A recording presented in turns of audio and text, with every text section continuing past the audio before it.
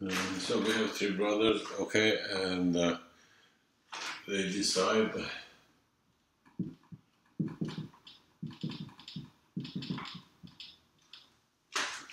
I don't know why they have given this example. Decide to have children.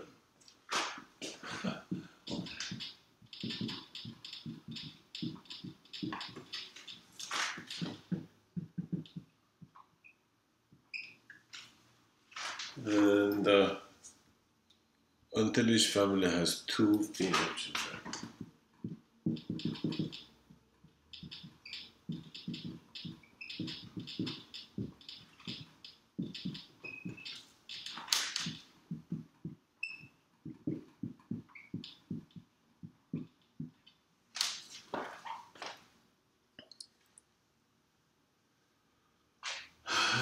And says, what is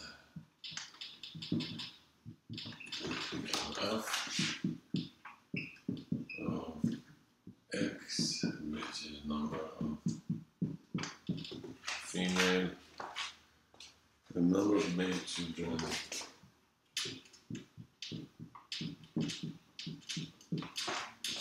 born before to the puberty.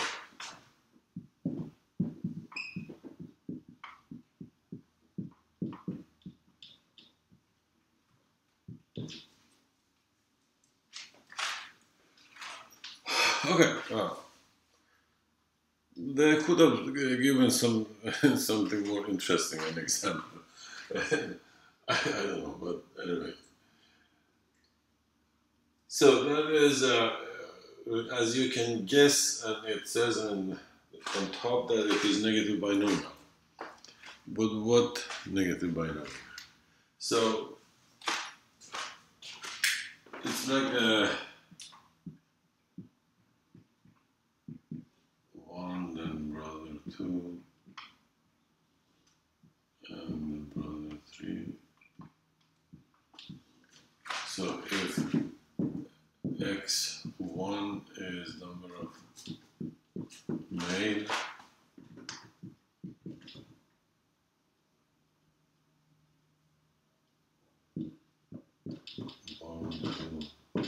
one, and x2 number of male one, two, brother two, and x3 number of if the problem was just uh, we have one person and that person has kids until uh, he has like two female kids, that is a negative binomial. But what it, it's asking is, in a sense, uh, number of male children born to all three of them. So it's uh, like putting them together. How? So in fact, if I look at this x here, this x here is in fact x1 plus x2 plus x3. So the question is finding the PMF of this random variable, the sum of three random variables. Now, sum of random variables, even two, two for example, is not an easy problem. I mean, finding the, the PMF or PDF. But it's interesting that some random variables, when you add them, the same. When you add them, you will get something which is, uh, in fact, similar to the random variable you're adding. Like uh, we, we will see, in fact, that's part of the, the statistics that we, that we will start next week, maybe. Uh, that is, in fact, when you add uh, normal random variables, you will get uh, normal random variable. So, in fact, they should be independent. Uh, and there are others that when you add and you assume some kind of independence, then you will get a random variable which has the same, is, is from the same family, say. Uh, th- this is one of them. It's interesting that uh, this is one of them. When you add uh, some negative binomials, you will get another negative binomial. Now, there are different ways to attack a problem like this that I will do it in a more intuitive way today. Uh, but the more rigorous way is to uh, prove, prove it rigorously using what we call a moment generating function. Uh, because we are dealing with, uh, say, discrete random variables, we, we can use moment generating functions. Uh, in fact, if two, uh, say, random variables, uh, two distributions have the same moment generating function with some assumptions, then in fact they are they have the same distribution. So they're the same in fact. So, uh, but I, am not going to discuss that. That is way too much. And uh, but well, in a more advanced uh, probability class, some of you might take that. If you transfer it, you will see that moment generating function is part of that. And in fact, if at some point you study actually, uh, that is part of the, the P exam. In, I don't know if the P exam still exists. uh, in the past, it was part of the P exam. That was one of the things you should should. Uh, anyway, so there are other things here which are uh, just uh, it has assumed that it is like true fact, and that is the probability of having male or female child. So it's assuming that p of having male or, or female is 0.5. I, I remember it once I read somewhere that it is not exactly 0.5, but I'm not sure it prefers, I mean, it is for male or female, one of them is a little bit more than. It was. I, I'm, I, I have no idea how much it is. You can Google it and see for yourself. But it's assuming that it is 0.5. So that is one assumption. And the other one, which doesn't really say too much, and I don't think it is discussed anywhere, it's just assuming that you can intuitively understand this. But let's look at this uh, again, kind of intuitively, and then so let me erase this so we know this thing. There's nothing except that we have a number of male children. Uh, so male children is like So let me write it here. So before I go back to that. Now let's look at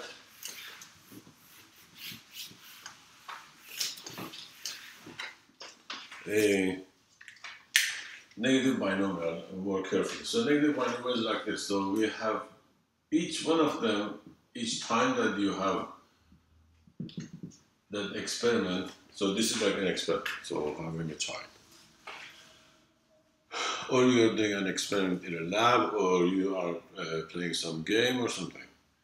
Uh, and there is a, a, a, it has two outcomes, success and failure.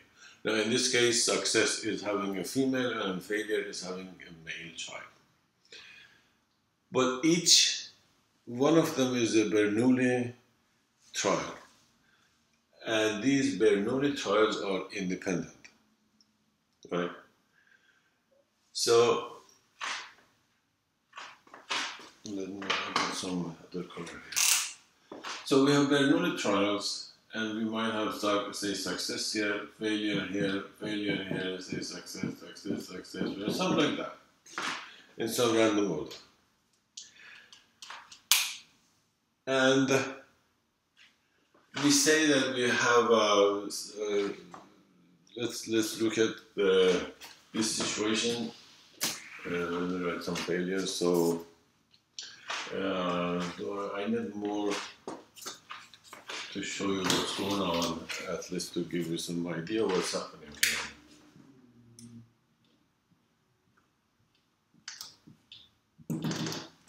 But it doesn't stop, so so let's say we have failure.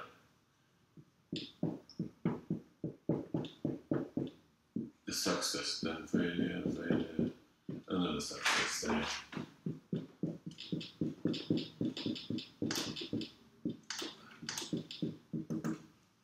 So, look at this.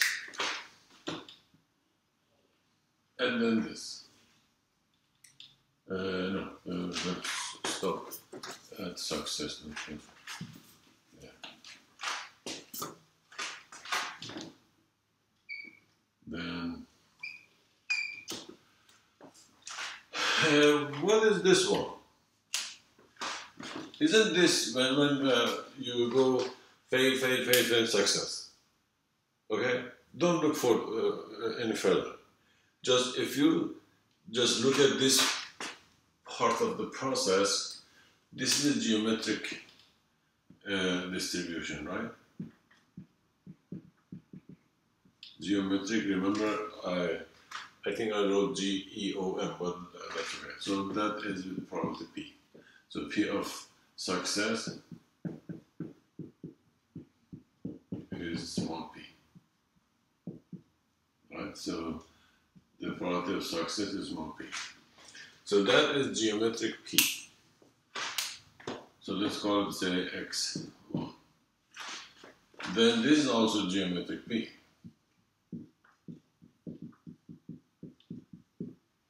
x2. And uh, the third one is also geometric p and so on. So geometric p. And so on.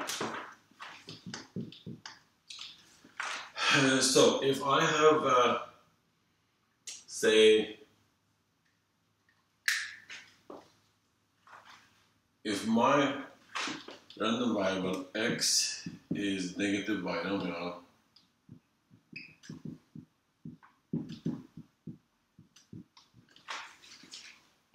so let's call it negative neg binom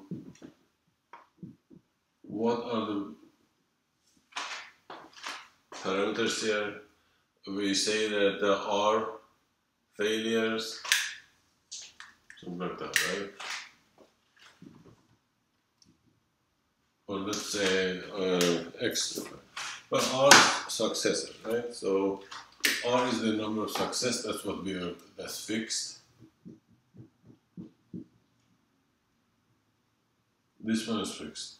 And we have a probability of success P. So negative binomial has two parameters, number of successes and P. And we talk about what? P of x being x means probability of x failures before r successes. That's probability of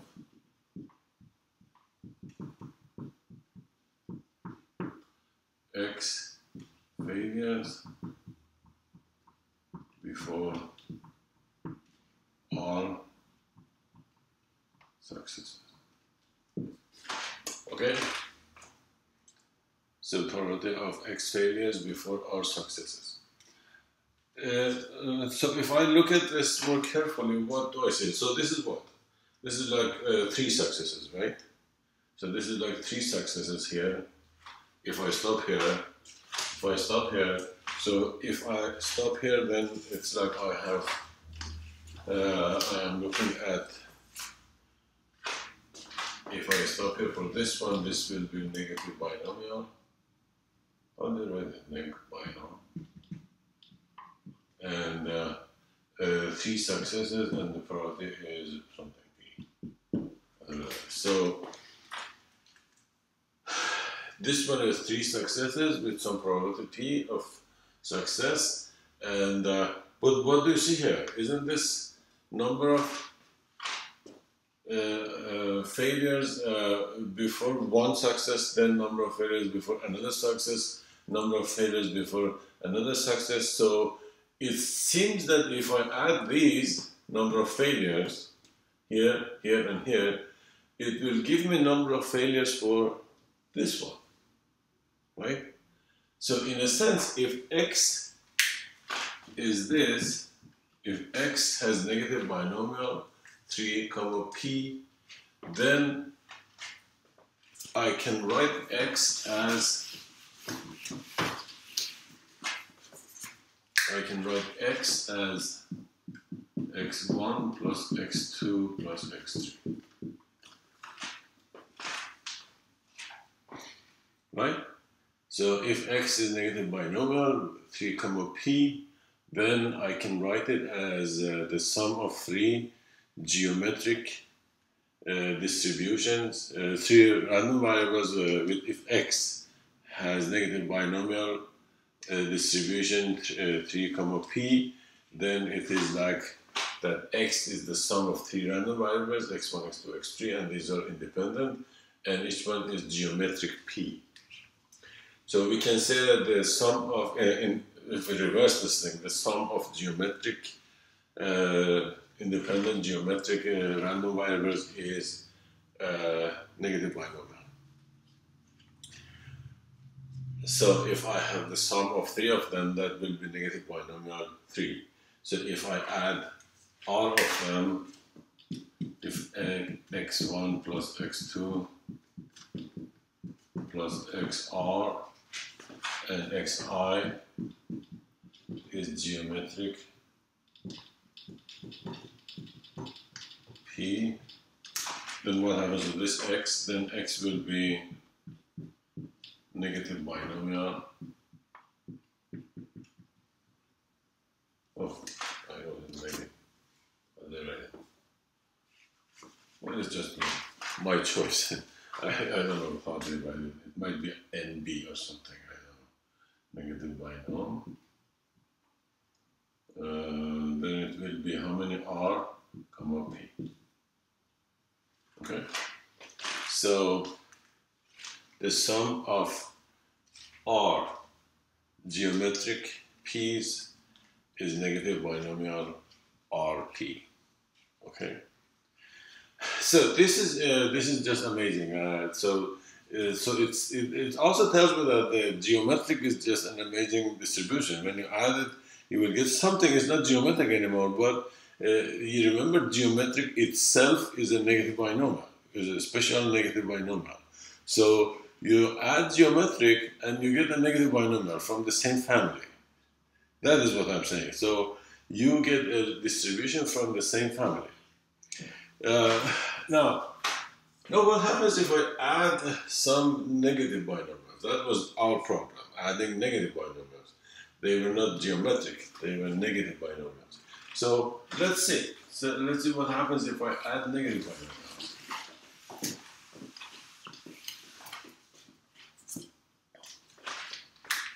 So let's say I'm adding some, uh, let's write them walk. Uh, x. Uh, 3 s, okay?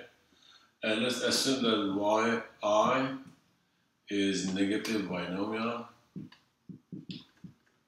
Uh, let's write uh, how many uh, i comma p. So that is I uh, successes. So this is the number of uh, failures before I successes. okay, so and the fixed things are the i's which I put as indices here. Uh, so now what is this first one then? In using this theorem, in fact, that I proved intuitively uh, so this, uh, using that theorem, using the geometric, this one is the sum of how many geometric? It is the sum of i, right? Geometric. Then the other one is, uh, well, I, uh, why should I, let's say I want, and I, Let's, let's write a j. Well, it doesn't have to be one or two. So, so let's say oh, j, okay, ki, okay. So it doesn't have to be one or two. It, it is k1, k1 uh, successes. Okay, no, I should have written that. So this should be k1, something like that. k1.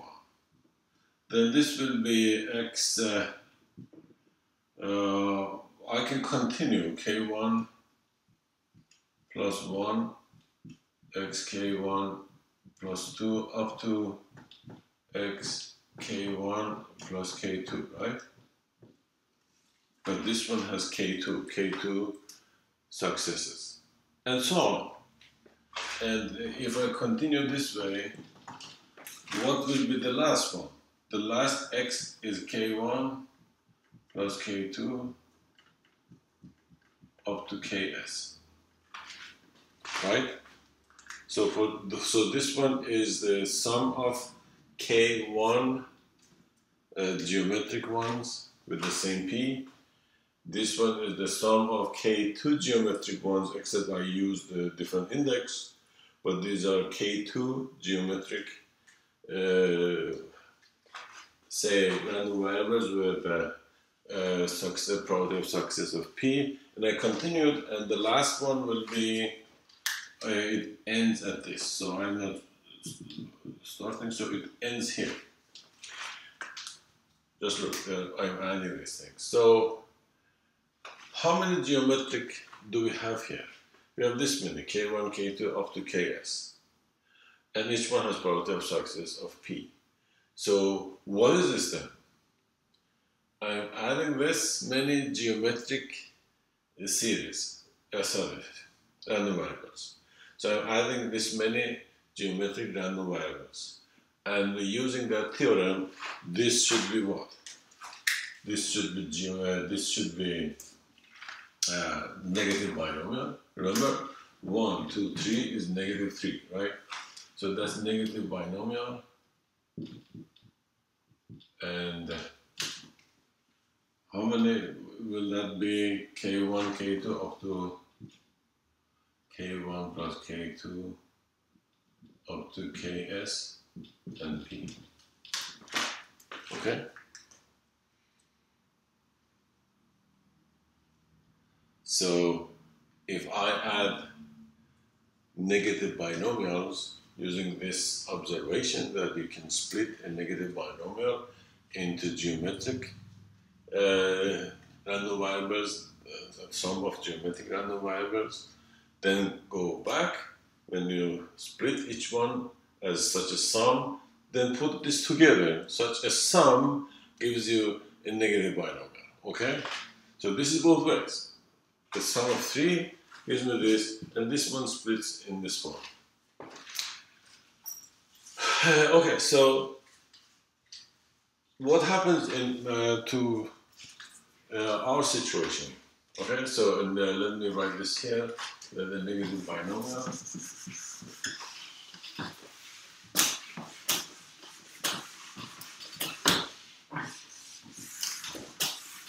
So let's write it as a theorem, and you can use it with that. Uh,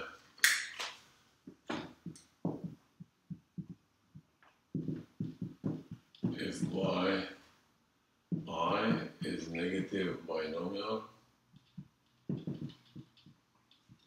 with uh, ki and the p as parameters, then uh, y1 plus y2 plus da da da the y uh, what uh, s say, and let's assume i are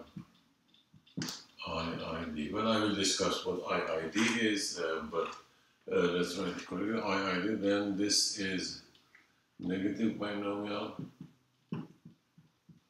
with uh, K1 plus K2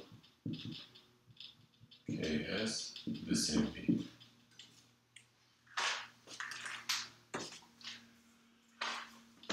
Okay, now IID means this, this is something that we will see a lot.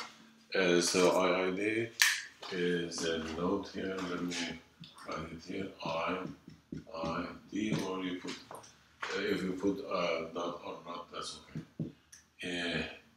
Uh, independent.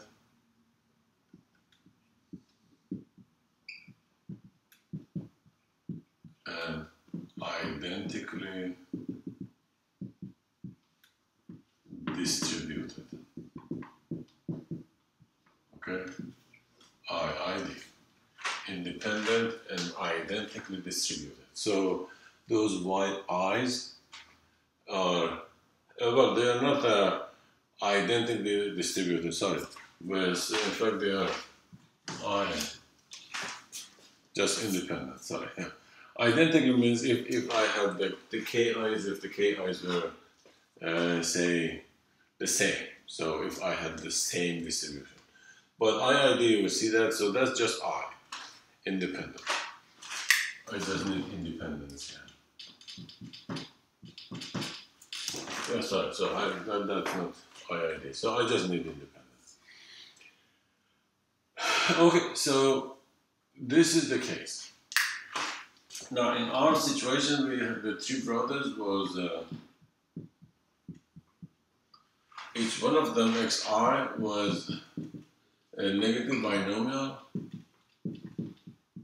with uh, how many uh, success was two, I guess, and uh, the probability p is uh, one half, one point five. So that is uh, so x, which is x1 plus x2 plus x3 will be a negative binomial.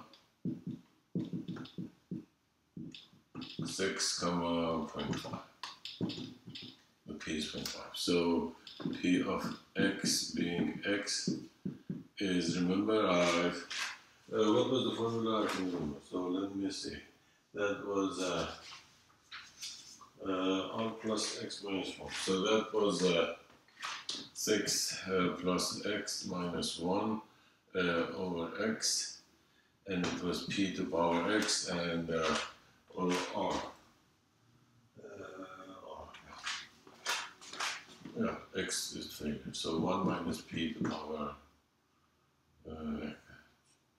x. That's the yeah. So, so in our situation we have 6 uh, plus x minus 1x p is 0.5 the power r is also 0.5 The power x right so let's write it here. So what do we have here? We have uh, 6 minus 5 1 is 5 in fact. So I have 5 plus x factorial. 5 plus x factorial. Then I have this minus this factorial, that is 5 plus x minus x, that is 5 factorial, x factorial times 0.5 to power r plus x. Uh, 6 plus x, r is 6. 6 plus x. And what is 5 factorial? That is uh, uh, 120, right? 120. So this will be 120. So it is 5 plus x factorial times 0.5 to the power 6 plus x over 120 x factorial. Okay. Now you can answer the other two questions. It's asking for EX. EX will be E of x1 plus E of x2 plus E of x3. And this one is negative binomial 2, P1 half. You know the expected value of each. And then it says what's the relationship between E of x and E of each one of them. So E of x is 3 times this. So E of each one of them is this one divided by 3. That is in fact the other two uh, parts of the same problem. So, so it's just amazing when you add the negative binomials, you get another negative binomial. And uh, geometric as a special negative binomial has the same property. When you add it, you will get a negative binomial.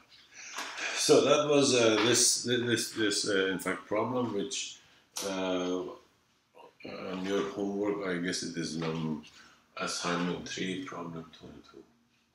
I'm not sure what, what problem it is in the book or where it is. So, uh, okay, so let me uh, stop this thing and then uh, answer your questions.